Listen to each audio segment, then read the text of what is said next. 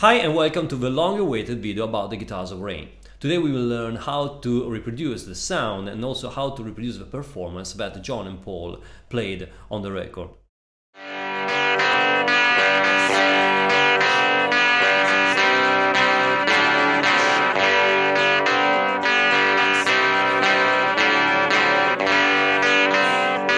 You know that I already covered the uh, vocals of Rain in a different video where I explain how the song was recorded, so if you want to go through that. What happened is that um, the Beatles recorded the bass track, which was composed by Ringo on drums and uh, Paul and John on guitars, at a higher speed. Then they slowed it down to the key where John could uh, sing this one, and then speed it up just a little uh, bit. So the official story said that they did that to achieve a you know fatter sound fatter drum sound because when you uh, record um, uh, a sound and when you slow it down it becomes very you know fat and strong. Now the more i go through this song the more i am totally amazed by the importance that paul had uh, into the beatles sound. What amazes me is uh, um, the dedication that he had the way he, he got into into the right into the song and was able to get a, a, demo and transform this one into a masterpiece. The pioneering that he had in mind in discovering new ways of using the instrument, new ways of using the guitars. And this of Rain is the typical uh, case. So uh, let's go into just like if you were with him and John, and let's go and try to understand what happened in uh, that day when they recorded Rain. So I just imagine John and Paul gathering in Abbey Road with the other guys, and, uh, and you know John uh, introducing the song to uh, to them, just like probably with an acoustic guitar, the first time that they ever heard it, you know. Or with, maybe even with the casino, I don't know.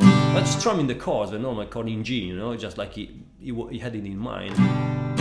So something like uh, he came in and said, "I have a new song. This is the song. Uh, when the rain comes, they run and hide their head. They might as well be dead." And I just imagine Paul starting immediately to think, "Ur, ur, ur, "How will I do that? I, how how can I find us something?"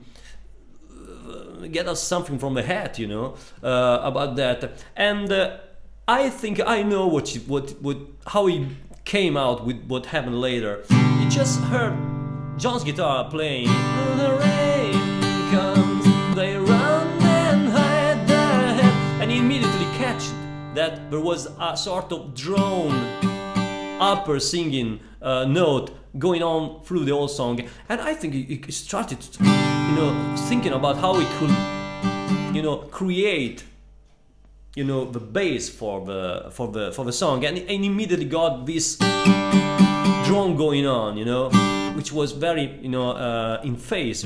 When the rain comes they run and hide their head. They might as well be dead. This one you know.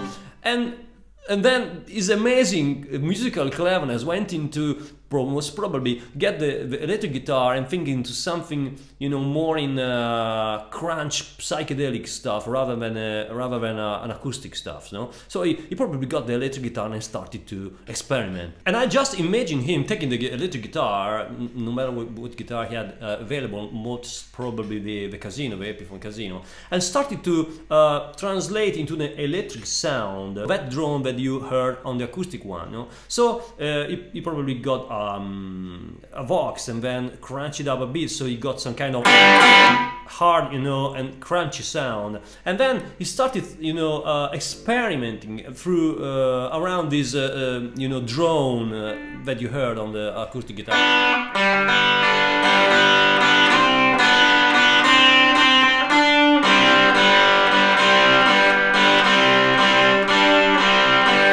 So until he had this musical he found this musical environment was to build up the whole arrangement you know? And the rain comes around and hide their head as might as well be dead you know, this kind of thing. At some point he realized that he couldn't use a normal tuning here. He had to use an open tuning. And uh, it most probably started from the highest strings here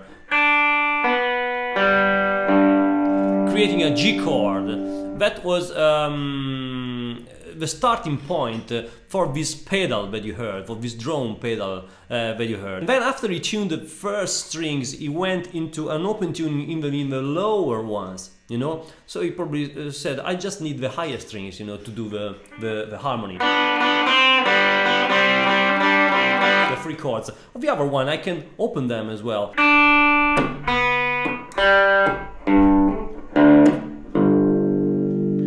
If we have to reproduce rain, we have to do this in order to be able to sing this one. And most probably mm, the tuning that we will choose will, will, be the G. So what I suggest is that if you have to do a recording of this or live, uh, you mount a heavier set gauge of strings. I can tell that the set you can use may, may also be something like 0, 11 on the on the high E string. You on the B string you can use something like a 0, 14, a 0, 18 on the um, G string, and then uh, 0, 4, 30 here, 42 and 52 here. This might be uh, you know a good you know uh, set gauge to uh, use to be used.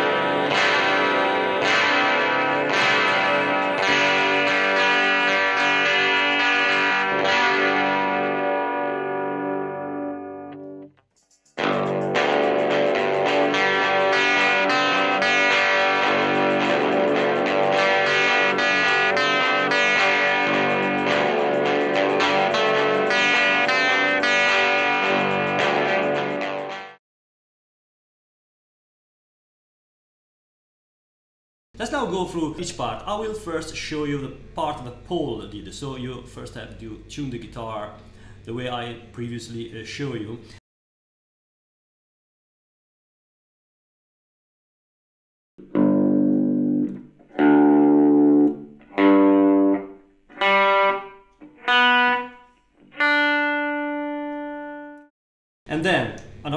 Very important thing to understand is that what Paul did on the record was kind of a, you know, uh, yeah, um, improvisation. Uh, makes no real really sense to follow each exact note in each exact uh, way that he played. It's just a matter of understanding the uh, overall arrangement and reproduce it, and it's much more also enjoyable to uh, to play.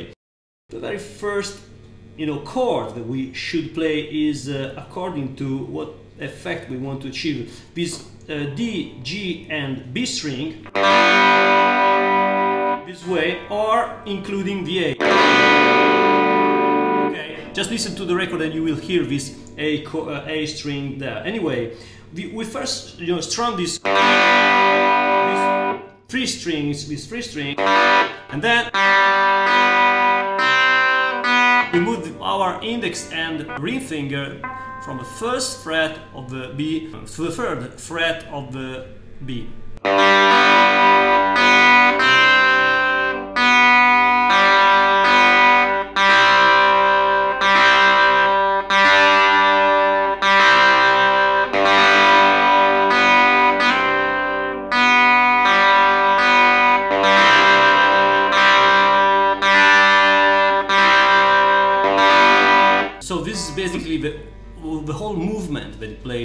with this guitar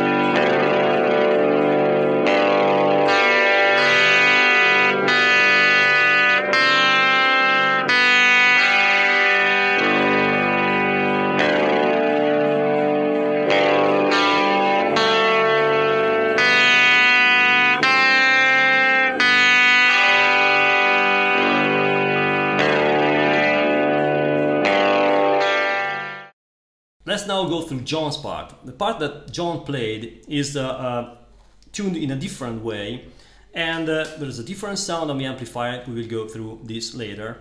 And it is also different as chords. First of all, the tuning. The tuning is one step down. So the original high E string is going to be a D.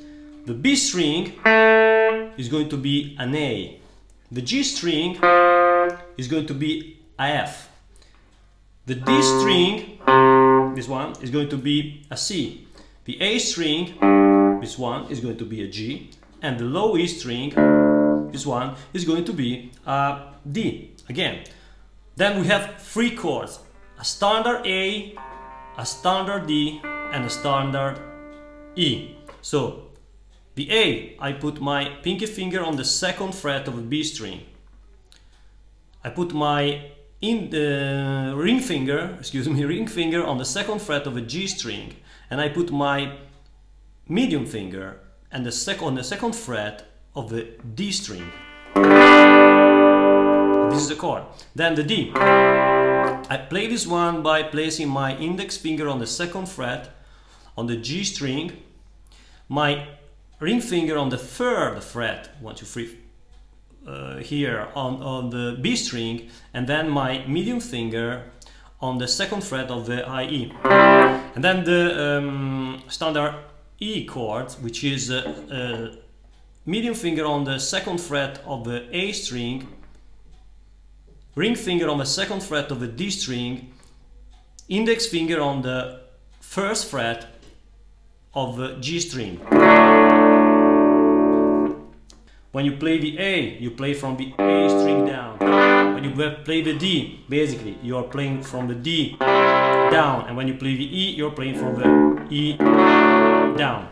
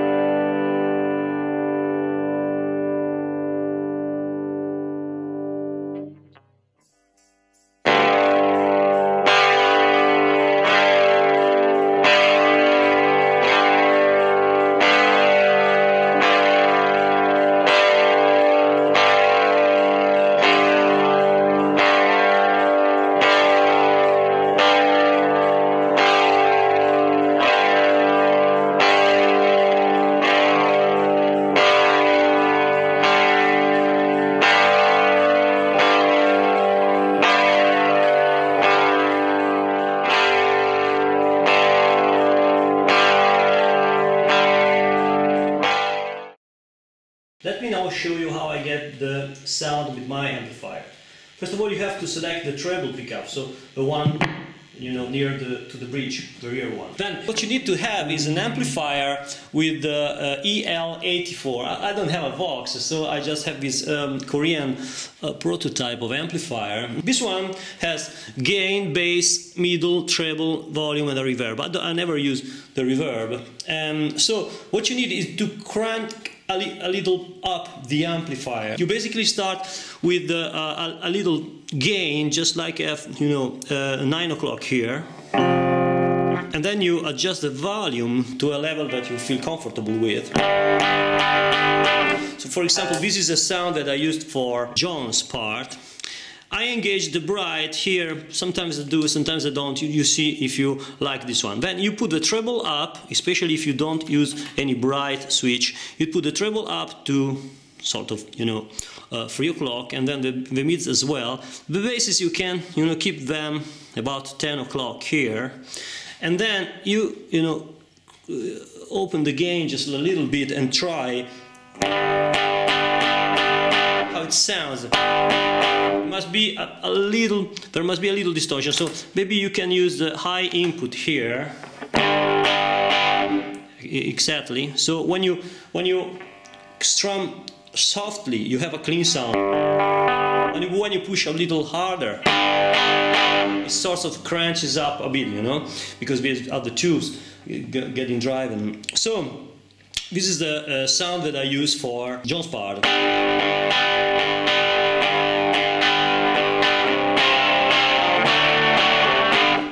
it's got this, you know,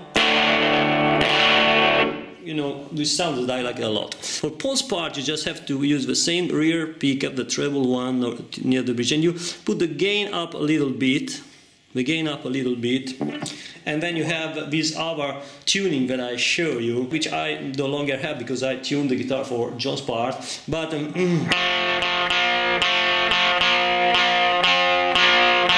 This is basically what's happening, you know. Then if you want some brighter sound, you, you engage some bright, bright switch.